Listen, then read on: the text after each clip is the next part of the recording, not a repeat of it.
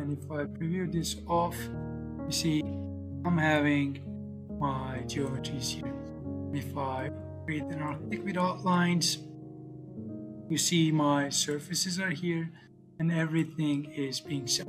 Again if I go back to here if I change some heights here you see that my pavilion goes up and down.